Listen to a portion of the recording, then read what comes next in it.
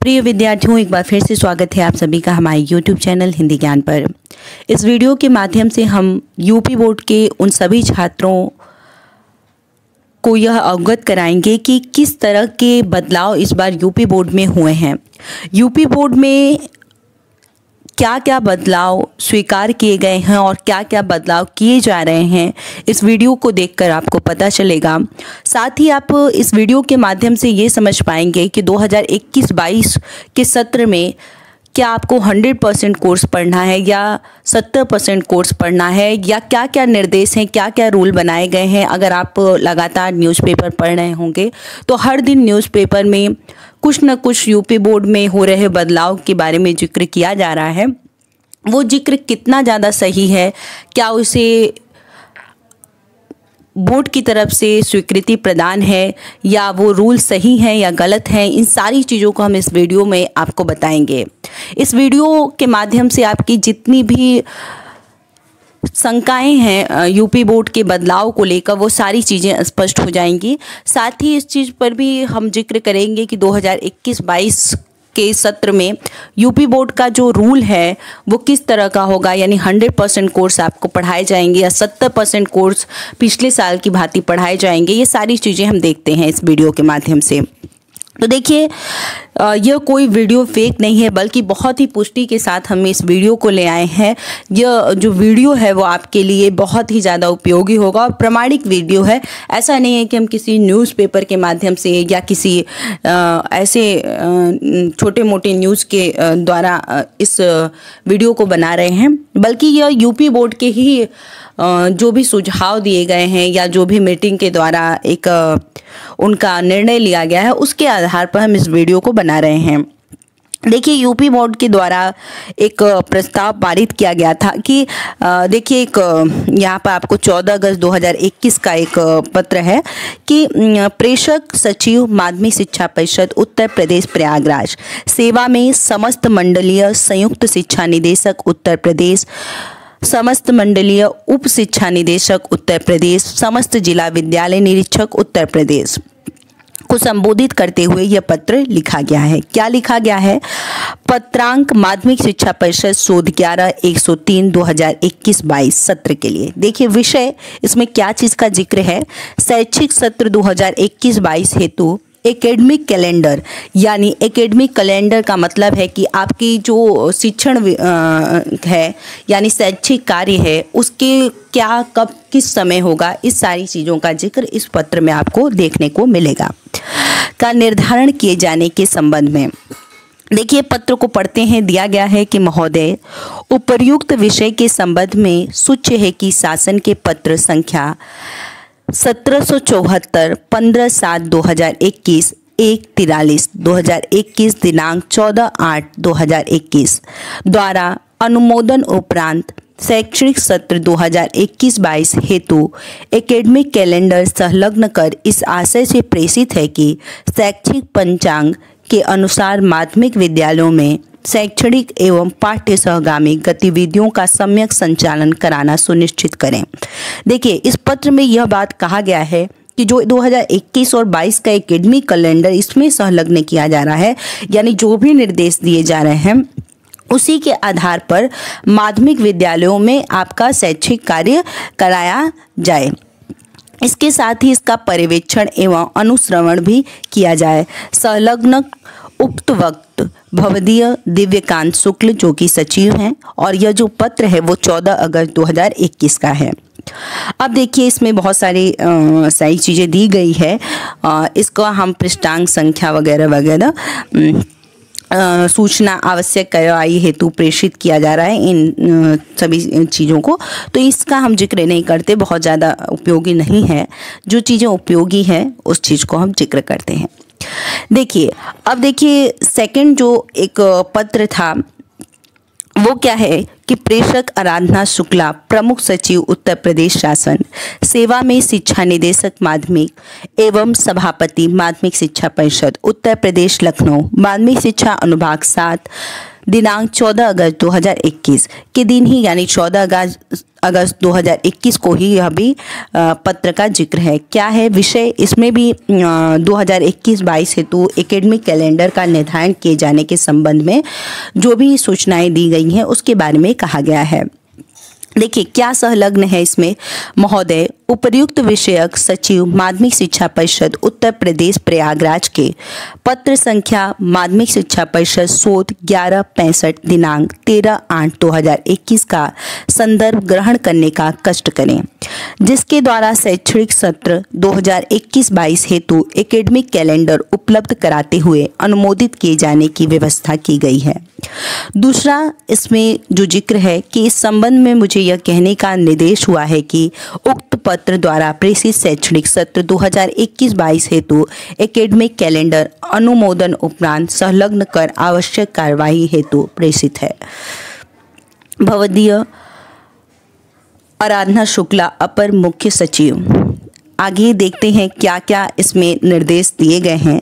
देखिए, शिक्षण कार्य के लिए कहा गया है, पहला पॉइंट में कि विभिन्न कक्षाओं में ऑनलाइन शिक्षण कार्य प्रारंभ किए जाने की तिथि 20 मई 2021 थी। विद्यार्थियों की भौतिक उपस्थिति में कक्षाओं का संचालन, यानी कि विद्यार्थी जब स्कूल जा सकेंगे, भौतिक रूप से, यानी फ़िज़िकल अपने आप को प्रेजेंट कर सकेंगे क्लासेस में तो वो 16 अगस्त 2021 को निर्धारित किया गया था। अर्धवार्षिक परीक्षा की प्रयोगात्मक परीक्षाओं का आयोजन जो है, वो नवंबर 2021 के द्वितीय सप्ताह में होना आयोजित किया गया है।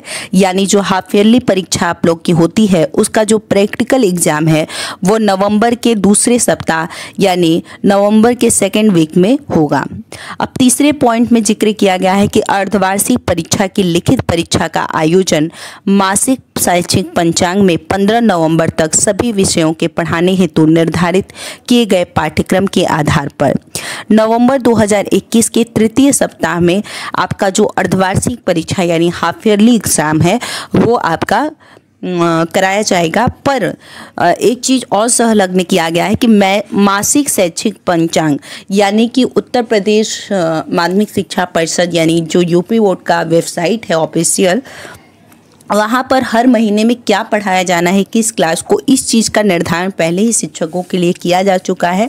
तो उन सभी से ये अनुरोध भी किया गया कि 15 नवंबर तक वो जितने भी विषय के पाठ्यक्रम निर्धारित किए गए हैं, उसके आधार पर वो पढ़ा लें और पूरा कर लें, क्योंकि हाफ़ ईयरली एग्ज़ाम जो होगा, लिखित परीक्षा प्रैक्टिकल तो आपका नवंबर के दूसरे सप्ताह, यानी नवंबर के सेकेंड वीक में हो जाएगा, पर आपके तीसरे सप्ताह में आपका हाफ़ ईयरली एग्ज़ाम करा दिया जाएगा। देखिए, चौथे पॉइंट में कहा गया है कि अर्धवार्षिक परीक्षाओं के प्राप्तांकों को माध्यमिक शिक्षा परिषद उत्तर प्रदेश की वेबसाइट पर अपलोड करना है। देखिए, ये एक इंपॉर्टेंट बिंदु है। जैसे हाफ़ ईयरली एग्ज़ाम को जो बच्चे होते हैं वो ज़्यादा सीरियस नहीं लेते हैं। ये मानते हैं कि हाफ़ ईयरली एग्ज़ाम है, इससे कुछ लेना देना नहीं है। तो देखिए, इस बार जो कोरोना महामारी की वजह से प्रमोट करना पड़ा तो उसमें बहुत सारी दिक्कतें आ रही थी। तो ऐसा ही कभी कोई अगर घटना घटती है या किसी प्रकार की बाधा आती है तो आपको अगर प्रमोट करना पड़े चूँकि अब तो प्रमोट नहीं किया जाएगा पर अगर कभी करना पड़े तो आ, किस आधार पर प्रमोट किया जाए? यानी हर एक टेस्ट और हाफ़ ईयरली एग्ज़ाम का जो नंबर है उसे यूपी बोर्ड अपनी तरह संग्रहित कर रहा है यानी इकट्ठा करके रख रहा है हो सकता है उसको भविष्य में कभी ज़रूरत पड़े तो उसके आधार पर वो नंबर दे सके। तो चौथा पॉइंट जो है वो आपके लिए बहुत ज़्यादा इंपॉर्टेंट है, क्योंकि देखिए कहा गया है कि अर्धवार्षिक परीक्षा के प्राप्तांकों को माध्यमिक शिक्षा परिषद उत्तर प्रदेश की वेबसाइट पर अपलोड करना है। यानी कि हाफ़ ईयरली में आप जितना भी अंक प्राप्त करेंगे, उसे उत्तर प्रदेश माध्यमिक शिक्षा परिषद की वेबसाइट पर अपलोड करना है। यानी कि आपके जो हाफ़ ईयरली के अंक होंगे सारे सब्जेक्ट के, उसे भी यूपी बोर्ड के वेबसाइट पर अपलोड किया जाएगा। और यह कार्य कब होगा? दिसंबर 2021 के द्वितीय सप्ताह में इस कार्य को करना है। अब देखिए, सभी कक्षाओं में ऑनलाइन या ऑफलाइन शिक्षण कार्य पूर्ण किए जाने की तिथि कक्षा नौ, दस, ग्यारह एवं बारह हेतु पंद्रह जनवरी 2022 निर्धारित की गई है। यानी सभी क्लासेस जो आपकी चलेंगी क्लास नाइन, टेंथ, इलेवेंथ और ट्वेल्थ की, वो सारी क्लासेस की ऑनलाइन है या ऑनलाइन मतलब कुछ चीज़ आप पीडीएफ भेजना चाहते हैं जो भी चीज़ें और ऑफलाइन क्लासेस तो स्टार्ट हो ही गई है।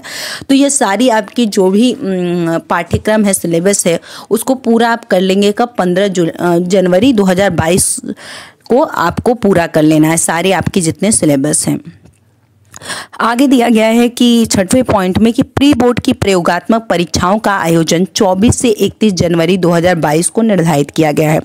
यानी प्री बोर्ड का जो प्रैक्टिकल एग्ज़ाम होगा, वो 24 से 31 जनवरी के बीच में होना चाहिए। सातवां पॉइंट दिया गया है कि प्री बोर्ड की लिखित परीक्षा कक्षा नौ एवं ग्यारह की वार्षिक गृह परीक्षा का आयोजन। यानी प्री बोर्ड की लिखित परीक्षा, जो नाइन्थ और इलेवेंथ प्री बोर्ड की लिखित परीक्षा, यानी टेंथ और ट्वेल्थ का प्री बोर्ड जो होता है, उसका रिटेन एग्ज़ाम और साथ में नाइन्थ और टेंथ का जो एनुअल एग्ज़ाम होता है, यानी वार्षिक परीक्षा होती है, वो सारा आपको फरवरी 2022 के प्रथम सप्ताह में कंप्लीट करना है। अगला देखिए पॉइंट है कि प्री बोर्ड परीक्षा के प्राप्तांकों तथा वार्षिक गृह परीक्षा के प्राप्तांकों को माध्यमिक शिक्षा परिषद उत्तर प्रदेश की वेबसाइट पर अपलोड करना है। प्री बोर्ड और वार्षिक गृह परीक्षा जो नाइन्थ और इलेवेंथ का होगा और बाकी टेंथ और ट्वेल्थ का जो प्री बोर्ड होगा, उसमें जितना भी आप अंक पाएँगे, उसको भी यूपी बोर्ड के वेबसाइट पर अपलोड करना है। और यह कार्य फरवरी 2022 के तृतीय सप्ताह तक हो जाना चाहिए। अब देखिए, नौवा जो पॉइंट है, उसमें दिया गया है कि बोर्ड की प्रयोगात्मक परीक्षाओं का आयोजन, यानी बोर्ड के जो भी छात्र हैं टेंथ और ट्वेल्थ के, वो बोर्ड के प्रयोगात्मक परीक्षाओं का जो आयोजन है, वो फरवरी 2022 के चतुर्थ सप्ताह में आयोजित किया जाएगा। यानी कि फरवरी के चौथे सप्ताह में जो बोर्ड के विद्यार्थी हैं, उनके प्रयोगात्मक परीक्षा, यानी प्रैक्टिकल एग्ज़ाम हो जाएगा। दसवां पॉइंट दिया गया कि बोर्ड परीक्षा का आयोजन। बोर्ड परीक्षा का आयोजन मार्च 2022 के चतुर्थ सप्ताह में, यानी मार्च के चौथे सप्ताह में बोर्ड परीक्षा का आयोजन किया जाएगा। ग्यारहवा आपका पॉइंट दिया गया है, आगामी शैक्षिक सत्र 2022-23 के प्रारंभ की तिथि। यानी आने वाला जो आपका शैक्षिक सत्र 2022 और तेरह हो तेईस होगा 22 और 23 उस का जो प्रारंभ करने की तिथि है वो अप्रैल 2022 से है, जो कि हमेशा होती थी कोरोना की वजह से इस बार लेट हुआ है। अब देखिए, नोट कुछ दिया गया है कि उपयुक्त तिथियाँ भारत सरकार तथा उत्तर प्रदेश सरकार द्वारा कोविड 19 महामारी के संबंध में जारी किए जाने वाले दिशा निर्देशों के अधीन होंगी। कोविड 19 के दृष्टिगत विद्यालयों में पठन पाठन हेतु समय का निर्धारण के संबंध में सक्षम स्तर से आदेश निर्गत किए जा सकते हैं। देखिए, जो भी तिथियाँ उपयुक्त बताई गई हैं यह जो है भारत सरकार और उत्तर प्रदेश के द्वारा जो भी संबंध मतलब सहमति के साथ जो भी ये चीज़ें जारी की गई है, इसे आपको आवश्यक रूप से लेना है और इसके अधीन ही इन निर्देशों का पालन करते हुए आगे बढ़ना है। ठीक है? आगे देखिए, सामान्य निर्देश क्या दिए गए हैं? सामान्य निर्देश जो कि बहुत ज़्यादा महत्वपूर्ण है एक एक करके पॉइंट लगातार न्यूज़पेपर में आ रहे हैं। यहाँ पर हम उन सभी सामान्य निर्देश को एक ही वीडियो में आपको बता रहे हैं, जो कि सामान्य निर्देश आपके लिए बहुत ज़्यादा उपयोगी होंगे। क्या क्या सामान्य निर्देश दिए गए इस पर भी हम चर्चा करते हैं। देखिए, समस्त निर्देशों के पालन में कोविड 19 की सुरक्षा, मानकों का पालन सुनिश्चित किया जाए।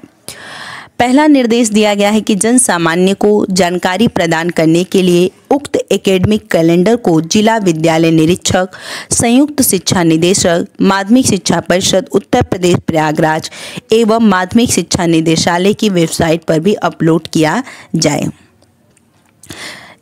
यह जो कैलेंडर है एकेडमिक कैलेंडर इसको उत्तर प्रदेश माध्यमिक शिक्षा परिषद की वेबसाइट पर अपलोड किया जाना सुनिश्चित किया जाए, ये बताया गया। दूसरे पॉइंट में देखिए क्या कहा गया है।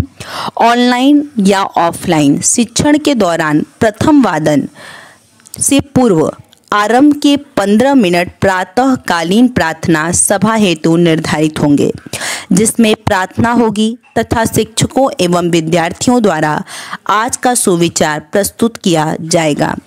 विद्यार्थियों द्वारा प्रत्येक दिन किसी नैतिक या प्रासंगिक विषय जैसे जीवन में मूल्यों का महत्व एवं मूल्य परक शिक्षा यथा चरित्र निर्माण, राष्ट्रभक्ति, समाज सेवा, कर्तव्य परायणा, सत्यनिष्ठा आदि महापुरुषों का जीवन चरित्र, पर्यावरण संरक्षण, स्वास्थ्य स्वच्छता एवं रोड सेफ्टी आदि पर विचार प्रस्तुत किए जाएँगे। देखिए दूसरे जो पॉइंट है, उसमें बताया गया है कि ऑनलाइन या ऑफलाइन जिस, जो, जिस भी तरह से क्लासेस चलेंगी, उसमें जो प्रथम वादन यानी जो आप प्रेयर करते हैं, उसके लिए पूर्व यानी क्लासेस प्रारंभ होने से पंद्रह मिनट पहले प्रार्थना सभा का आयोजन किया जाएगा, जिसमें शिक्षक और विद्यार्थी आज का जो भी सुविचार होगा उसे प्रस्तुत करेंगे और साथ ही विद्यार्थियों के लिए निर्देश दिए गए हैं कि प्रत्येक दिन में नैतिक या प्रासंगिक विषय जैसे जीवन में मूल्यों का महत्व हो या राष्ट्रभक्ति या चरित्र निर्माण, ऐसे किसी भी टॉपिक पर वो अपने विचार को प्रस्तुत करेंगे। उसी प्रार्थना सभा में। तीसरा देखिए। तीसरा पॉइंट दिया गया है कि उक्त के अतिरिक्त प्रत्येक पक्ष में एक दिन विद्यार्थियों को कैरियर के प्रति जागरूक करने के लिए स्थानीय प्रशासनिक अधिकारी, पुलिस अधिकारी डॉक्टर इंजीनियर बैंक के अधिकारी, सेवा योजन अधिकारी, न्यायिक सेवा से जुड़े अधिकारी, उद्यमियों, अन्य प्रतिष्ठित महानुभावों को संबोधन हेतु आमंत्रित किया जाए। देखिए अब कहा गया है प्रत्येक पक्ष में, यानी एक पक्ष जो होता है वो पंद्रह दिन का होता है। तो प्रत्येक पंद्रह दिन में आप कह सकते हैं कि यूपी बोर्ड ने ये कहा है कि या तो कोई स्थानीय प्रशासनिक अधिकारी को आप बुलाइए स्कूल में, या तो किसी पुलिस अधिकारी को, या किसी डॉक्टर को, या इंजीनियर को, या बैंक के किसी अधिकारी को, या सेवा नियोजन अधिकारी, या किसी भी उद्यमी या कोई भी प्रतिष्ठित महानुभाव जो कि अच्छा करता है और एक आदर्श प्रस्तुत कर सकता है अपने आप को तो ऐसे लोगों को आमंत्रित किया जाए और उनके जो विचार हैं वो विद्यार्थियों को सुनाए जाएँ।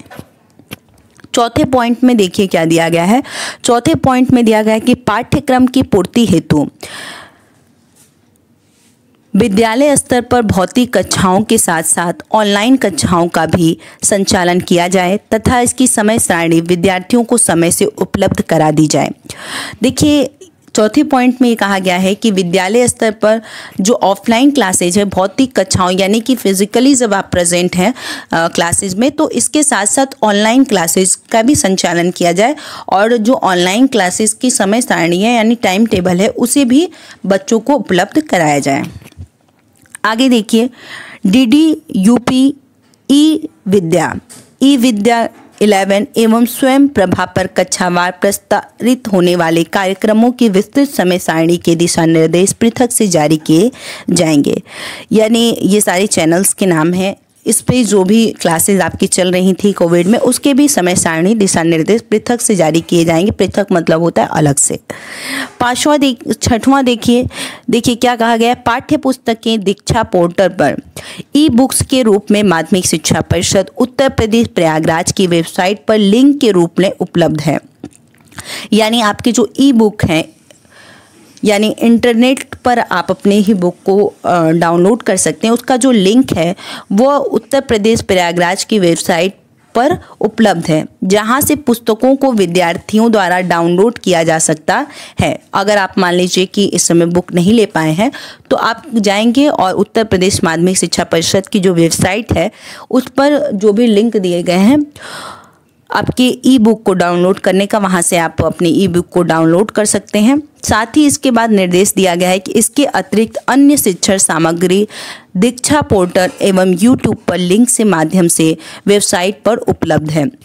यानी दीक्षा पोर्टल और यूट्यूब पर भी जो भी क्लासेस चल रही थी आपकी, जैसे स्वयं प्रभा चैनल पर, ई विद्या इलेवन, ई विद्या नाइन, ये सारे चैनल यूट्यूब पे आप सर्च करेंगे, वहाँ पर भी क्लासेज आपको उपलब्ध कराई जा चुकी हैं। अगला जो निर्देश दिया गया है, वो दिया गया है कि शिक्षक ऑनलाइन या ऑफलाइन शिक्षण के माध्यम से विभिन्न प्रयोगात्मक कार्य एवं प्रोजेक्ट कार्य को संपन्न कराएँगे एवं दीक्षा पोर्टल यूट्यूब व्हाट्सएप एवं अन्य पोर्टलों पर अध्ययन सामग्रियों के लिंक के माध्यम से पाठ्य वस्तु छात्रों हेतु उपलब्ध कराएँगे। यानी जो भी शिक्षक आपको पढ़ाता है, उसके जो भी प्रयोगात्मक कार्य होंगे, यानी प्रैक्टिकल वर्क जितने भी होंगे या प्रोजेक्ट वर्क, वह भी आपको दीक्षा पोर्टल या उनके जो उत्तर प्रदेश माध्यमिक शिक्षा के बोर्ड के व्हाट्सएप या यूट्यूब हैं या कोई अन्य पोर्टल जैसे दीक्षा पोर्टल है, इसके माध्यम से जो भी लिंक प्रोवाइड की गई है, उससे सहायता लेकर पाठ्य वस्तु जो भी है, यानी कि उसका जो भी आपको स्टडी मटेरियल है, वो छात्रों को उपलब्ध कराएँ, शिक्षकों के लिए यह निर्देश दिया गया है। आठवां जो निर्देश दिया गया है, वो ये है कि ऑनलाइन शिक्षण को प्रभावी रूप से लागू किए जाने के निमित्त जिला विद्यालय निरीक्षक वेबिनार्स तथा ऑनलाइन ट्यूटोरियल के माध्यम से प्रधानाचार्यों को प्रशिक्षित करेंगे। तदुपरांत प्रधानाचार्य अपनी संस्था के शिक्षकों को प्रशिक्षित करेंगे। यानी प्रधानाचार्य के लिए कि ऑनलाइन शिक्षण को प्रभावी बनाने के लिए जो भी नियमित, यानी नामित किया गया होगा जिला विद्यालय निरीक्षक को, वह वेबिनार और या ऑनलाइन ट्यूटोरियल के माध्यम से प्रधानाचार्य को प्रशिक्षित करेंगे और उसके बाद जो प्रधानाचार्य होंगे वो स्कूल में आकर अपने शिक्षकों को प्रशिक्षित करेंगे। देखिए नौवा जो निर्देश दिया गया है वो ये दिया गया है कि उत्तर प्रदेश माध्यमिक शिक्षा परिषद प्रयागराज द्वारा पाठ्यक्रम को संक्षिप्त करते हुए पाठ्यक्रम को गत वर्ष की भांति 30 प्रतिशत तक कम करके माध्यमिक शिक्षा परिषद की वेबसाइट पर अपलोड कर दिया गया है। उक्त पाठ्यक्रम के अनुसार ही शिक्षण कार्य कराया जाए। देखिए नौवा जो आपका आ, निर्देश है, ये हर विद्यार्थियों के लिए सबसे ज़्यादा उपयोगी इसलिए है कि आप में से बहुत सारे विद्यार्थी जो थे, वो अब तक कंफ्यूज थे कि क्या 100 परसेंट कोर्स पढ़ाए जाएँगे या 70 प्रतिशत कोर्स पढ़ाए जाएँगे। तो नौवें जो पॉइंट है, वो उसमें जो निर्देश दिए गए हैं नवा, उसमें एकदम स्पष्ट रूप से यह बता दिया गया है कि उत्तर प्रदेश माध्यमिक शिक्षा परिषद प्रयागराज द्वारा पाठ्यक्रम को संक्षिप्त करते हुए पाठ्यक्रम को गत वर्ष की भांति, यानी पिछले वर्ष की भांति 2020-21 की भांति ही 2021-22 में भी आपका पाठ्यक्रम संचालित किया जाएगा। यानी 2020 और 21 में जो भी विद्यार्थी पढ़े थे, वो सिर्फ़ 70 प्रतिशत कोर्स ही पढ़े थे। तो इस साल 2021 और 22 के जो भी विद्यार्थी हैं वह भी 70 प्रतिशत ही कोर्स पढ़ेंगे। और क्या क्या आपके कोर्स में आएँगे, इसके और क्या क्या आपको पढ़ना है हर सब्जेक्ट में, ये सारी चीज़ों को आप जाके सर्च कर सकते हैं या हम आपको डिस्क्रिप्शन में लिंक दे देंगे। हमने पहले इस पर वीडियो बनाया है कि किस सब्जेक्ट में कितने कौन कौन से चैप्टर आपको पढ़ने और कौन कौन से नहीं पढ़ने यह सारी चीज़ें आप पहले जाकर वहाँ से देख सकते हैं। आगे देखिए, दसवां जो पॉइंट दिया गया है, वो दिया गया है कि हैंड्स ऑन एक्टिविटीज़ एवं एक्सपीरियंस लर्निंग विधा को गणित एवं विज्ञान विषय में लागू किए जाने हेतु सप्ताह में दो वादन निर्धारित किया जाना सुनिश्चित किया जाए। ग्यारहवा जो पॉइंट है, शैक्षणिक गतिविधियों में जीवन कौशल, शिक्षा एवं इक्कीसवीं शताब्दी कौशल के समावेश हेतु सप्ताह में दो वादन निर्धारित किया जाना सुनिश्चित किया जाए। विद्यार्थियों द्वारा लाइब्रेरी की समुचित उपयोग हेतु प्रत्येक सप्ताह में एक वादन निर्धारित किया जाना सुनिश्चित किया जाए। तेरहवा जो दिया गया है, वर्तमान सत्र में कक्षा नौवीं की लिखित अर्धवार्षिक एवं वार्षिक परीक्षा प्रश्न पत्र के नए प्रारूप के आधार पर होगी। देखिए प्रश्न पत्र का जो नया प्रारूप है नौवीं और कि जो भी छात्र हैं, उनके लिए जो पेपर का पैटर्न है, वो बदल दिया गया है। यानी आपकी हाफ़ ईयरली और एनुअल एग्ज़ाम जो होते हैं, उसका जो प्रारूप है, वो बदल दिया गया है। अब प्रश्न पत्र तो दो खंड में होंगे और प्रथम खंड में जो, तीस प्रतिशत अंकों के बहुविकल्पीय प्रश्न होंगे और द्वितीय खंड में जो होगा, सत्तर प्रतिशत अंकों के वर्णात्मक आपके प्रश्न होंगे। यानी क्लास नाइन्थ का जो प्रश्न पत्र होगा, उसका प्रारूप बदला गया है क्वेश्चन पेपर का। अब आपको पहले खंड में, यानी जो पहला पार्ट होगा, उसमें तीस प्रतिशत जो भी आपका पूर्णांक निर्धारित होता है, यानी सत्तर नंबर में आपका तीस प्रतिशत जो होगा, वो बहुविकल्पीय प्रश्न एमसीक्यू होंगे और सत्तर प्रतिशत वर्णात्मक प्रश्न निर्धारित होंगे। चौदहवा जो दिया गया है, निर्देश अर्धवार्षिक परीक्षा मासिक शैक्षिक पंचांग के अनुसार 15 नवंबर तक निर्धारित पाठ्यक्रम से ली जाएँगी। यानी जो भी शैक्षिक पंचांग यानी एकेडमिक कैलेंडर जो भी दिया गया है वेबसाइट पर, उसको आपको कंप्लीट करना है शिक्षकों को और अर्धवार्षिक परीक्षा जो होगी, वो पंद्रह नवंबर तक निर्धारित पाठ्यक्रम से ली जाएगी। यानी पंद्रह नवंबर से आपके अर्धवार्षिक परीक्षाएँ प्रारंभ हो जाएँगी। पंद्रहवा निर्देश दिया गया है कि प्रत्येक माध्यमिक विद्यालय में शिक्षक अभिभावक समिति की अर्धवार्षिक बद्ध, कक्षा नौ सॉरी कक्षा दस एवं बारह एवं वार्षिक कक्षा नौ एवं ग्यारह परीक्षा के बाद बैठक आयोजित की जाए, जिसमें विद्यार्थियों की शैक्षिक प्रगति पर विचार विमर्श किया जा सके। यानी जो पीटीएम है, वो आपके अर्धवार्षिक परीक्षा के बाद और वार्षिक परीक्षा के बाद होना सुनिश्चित किया जाए और साथ ही जो भी विद्यार्थी के शैक्षिक प्रगति है, उस पर भी विचार विमर्श किया जाए। सोलह नंबर पॉइंट में यह दिया गया है कि खेल कूद एनसीसी, स्काउटिंग, एनएसएस एवं सांस्कृतिक साहित्यिक गतिविधियों की रूपरेखा जुलाई माह में तैयार कर सदनवार टीमों का चयन ऑनलाइन माध्यम से किया जाए। सत्रह पॉइंट में दिया गया है कि प्रत्येक माह के प्रत्येक शनिवार को विद्यार्थियों के सर्वांगीण विकास हेतु गतिविधियों का आयोजन किया जाएगा। यानी देखिए अभी आ, सारे क्लासेस जो हैं वो शनिवार को बंद रह रही है। तो किस लिए बंद रह रही है? इसका भी ज़िक्र किया गया है कि प्रत्येक माह के प्रत्येक शनिवार को विद्यार्थियों के सर्वांगीण विकास यानी स्किल डेवलपमेंट को ध्यान में रखते हुए बताया गया है कि माह के प्रथम शनिवार को आप क्या करेंगे द्वितीय शनिवार को क्या करेंगे इसका भी ज़िक्र सत्रह नंबर पॉइंट में दिया गया है। देखिए माह के प्रथम शनिवार को सदनवार सांस्कृतिक गतिविधियों यानी नृत्य गीत, वादन, नाटक, चित्रकला आदि का आयोजन किया जाए। यानी प्रत्येक माह के प्रत्येक शनिवार को विद्यार्थियों के सर्वांगीण विकास के लिए जो भी गतिविधियाँ आयोजित की गई हैं, उसमें यह ज़िक्र है कि जो आपके महीने का पहला शनिवार होगा, उसमें आपको डांस, सॉन्ग, वादन, ये सारी चीज़ों का आयोजन किया जाना चाहिए विद्यालय की तरफ़ से। दूसरे शनिवार को खेलकूद आधारित सदनवार प्रतियोगिताएँ आयोजित की जाए। भौतिक रूप से विद्यालय खुलने की स्थिति में। यानी जब पूरी तरह से विद्यालय खुल जाएगा, तब प्रत्येक महीने के दूसरे शनिवार को खेलकूद से संबंधित प्रतियोगिताओं का आयोजन किया जाना सुनिश्चित किया गया है। तीसरा पॉइंट दिया गया है कि तृतीय शनिवार को पाठ्य सहगामी क्रियाओं, यथा निबंध लेखन, भाषण, वाद विवाद एवं सुलेख आदि का सदनवार आयोजन किया जाए। चौथा पॉइंट दिया गया है कि चतुर्थ शनिवार को किशोर सद, सांस्कृतिक पाठ्य सहगामी क्रियाओं पर आधारित सदनवार प्रतियोगिताएँ आयोजन की जाए। सत्र के आरंभ में प्रधानाचार्य शिक्षकों के साथ विचार विमर्श करके 35 कार्यकारी शनिवारों को आयोजित होने वाली गतिविधियों की समय सारणी तैयार कर लें, तथा इनसे शिक्षकों, विद्यार्थियों एवं उनके अभिभावकों को भी ससमय सूचित कर दिया जाए। अठारह पॉइंट में दिया गया है कि महिलाओं एवं बालिकाओं की सुरक्षा, सम्मान एवं स्वावलंबन के लिए दिनांक 21 अगस्त 2021 से दिसंबर 2021 तक संचालित मिशन शक्ति अभियान के तृतीय चरण के कार्यक्रमों का संचालन किया जाए। 19 नंबर निर्देश में दिया गया है कि विद्यार्थियों का स्वास्थ्य परीक्षण कराकर स्वास्थ्य कार्ड तैयार कराया जाए।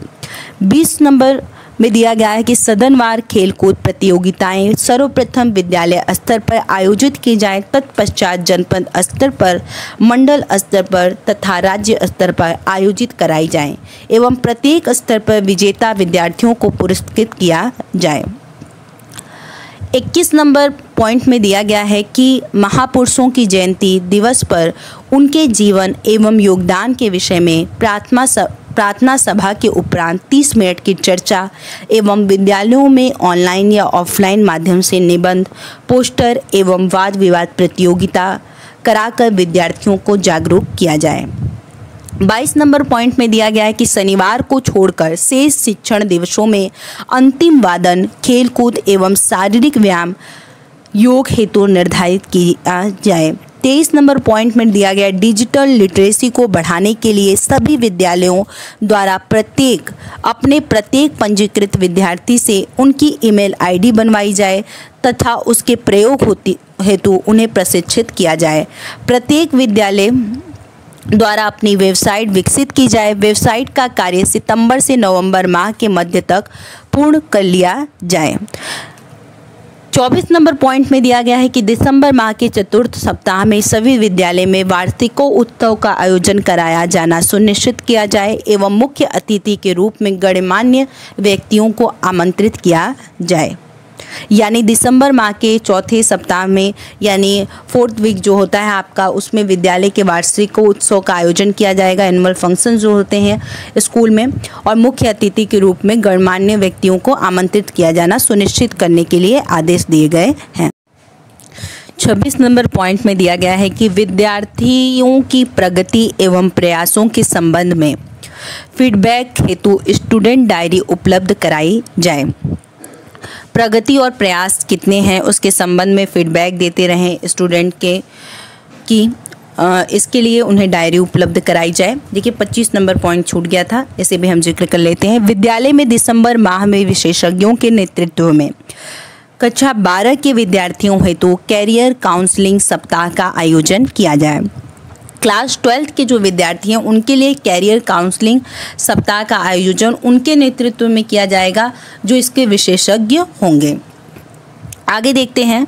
27 नंबर पॉइंट में दिया गया है कि विद्यालय की स्मारिका प्रकाशित की जाए और इसकी एक प्रति यूपी बोर्ड को उपलब्ध कराई जाए तथा बच्चों को लेख लिखने हेतु प्रोत्साहित किया जाए। स्मारिका मतलब होता है जो पत्रिकाएँ विद्यालय की निकलती हैं, उसमें जो आप छोटे छोटे लेख देते हैं या कविताएँ देते हैं, ये सारी चीज़ें आप दे सकते हैं अपने विद्यालय में और उससे आपकी पत्रिकाएँ निकलेंगी आपके विद्यालय के द्वारा और उसमें आपके लेख जो होंगे वो प्रकाशित होंगे और उसकी एक प्रति यूपी बोर्ड को भी देना है। यानी विद्यालय में कार्य करना है ताकि वो यूपी बोर्ड को दे सकें। अगला जो पॉइंट है उसमें दिया गया है कि विद्यार्थियों के रिपोर्ट कार्ड में अर्धवार्षिक एवं वार्षिक परीक्षा के प्राप्तांक अंकित किए जाएँगे, तथा उसमें विद्यार्थी के स्वास्थ्य का विवरण भी अंकित होगा। समरूपता हेतु इसका प्रारूप बोर्ड द्वारा जारी किया जाएगा। उनतीस नंबर पॉइंट में दिया गया है, राष्ट्रीय शिक्षा नीति 2020 के विषय में विद्यालयों में कार्यशाला का आयोजन किया जाए। तथा प्रत्येक विद्यालय में राष्ट्रीय शिक्षा नीति 2020 के क्रियान्वयन के संबंध में स्कूल प्लान विकसित किया जाए, जिसमें स्कूल स्तर पर की जाने वाली गतिविधियों को सम्मिलित किया जाए।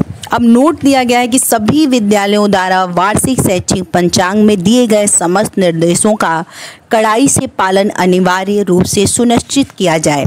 अन्यथा उनके विरुद्ध नियमानुसार दंडात्मक कार्रवाई की जा सकती है।